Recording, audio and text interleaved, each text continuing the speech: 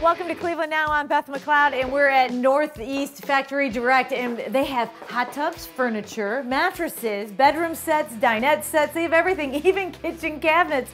Alex, how are you doing all of this? Tell me about your cabinets. Well, all of our cabinets, this would be like an entry-level cabinet from one of the big box stores. And I like to show people this because they're typically particle board, stapled, glued, kind of cheap glides. Once you get into high-end cabinets or our cabinets, they're all solid wood.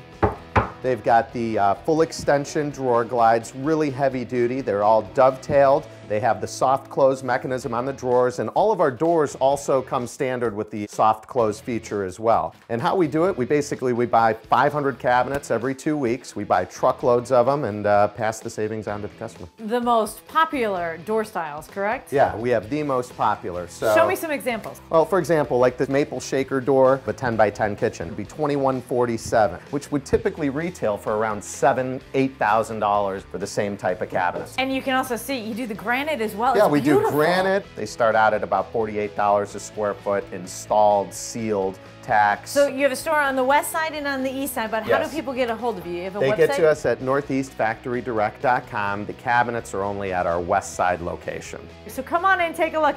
I guarantee it's going to take you a while to get through the entire store. You might come in for a cabinet and you might leave with a hot tub. That's Who knows? right.